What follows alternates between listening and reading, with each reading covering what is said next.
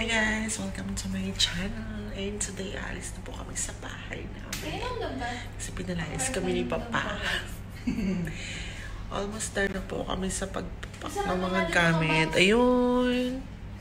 Mga gamit. Mga gamit. Wala na masyado. Patapos na.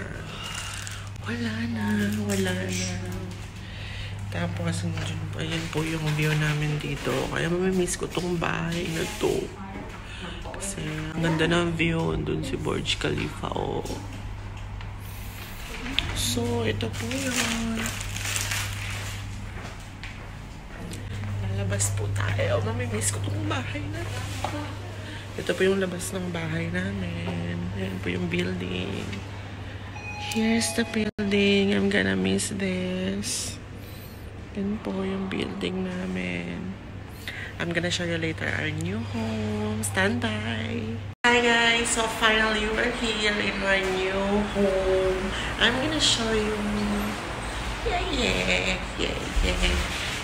Here's our room. Fifix pa po namin siya. Tapos andun po yung mga gamit muna sa terrace. Para makapag-ayos kami. And the view is there.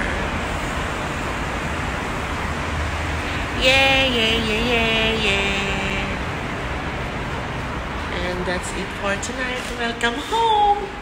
Ciao.